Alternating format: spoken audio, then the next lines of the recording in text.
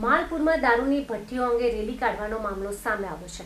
માલપુરમાં દારૂની ભઠ્ઠીઓ ધમધમતી હોવાના આક્ષેપ સાથે લાલજી ભગત છ જુલાઈએ રેલી કાઢવાના હતા, પણ રેલી ન કાઢતા વાલ્મીકી સંગઠનના લાલજી ભગતની પ્રતિક્રિયા સામે આવી છે. તેમનું કહેવું છે કે સમાજના લોકો અને ઘરના લોકોએ રેલી યોજવાની ના પાડી હતી. તેથી લાલજી ભગત હવે ભક્તિના સહારે લોકોને વ્યસન મુક્તિ કરાવશે. દારૂ એવો નશો છે, પોતાના પરિવારને પણ નષ્ટ કરી દે છે. તો હું જનતાને વિનંતી કરું છું કે જેને જેને કહું એ તો કહું માને, મૂર્ખ જાણીને મને મારે છે લાતો.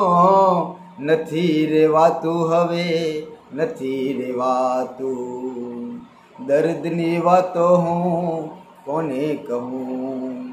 દર્દની વાતો હું કોને કહું? લાલજી ભગતે છ જુલાઈએ દારૂબંધીને લઈને મામલતદાર પાસે રેલી કાઢવા મંજૂરી માંગી હતી. દારૂબંધીના આંદોલનને લાલજી ભગતે પોતાના પર જીવલેણ હુમલો થવાની પણ શક્યતા વ્યક્ત કરી હતી, તેથી લાલજી ભગતે પોલીસ પાસે પ્રોટેક્શન માંગ્યું હતું. હું છ તારીખે દારૂબંધની રેલી કાઢવાનો હતો, પરંતુ મારા ઘરે તમામ સમાજના લોકોને બોલાવ્યા હતા. ગામના લગભગ સો જેટલા લોકો હતા. ત્યારે તમામ લોકોએ કહ્યું હતું કે તમે આવડે રેલીનું આયોજન બંધ રાખો અને મારા પરિવારે પણ ના પાડ્યું હતું. તેના કારણે મેં રેલી બંધ રાખવામાં આવી હતી. અને બીજી એક વાત, મારી લડત કોઈ નેતા બનવાની નથી.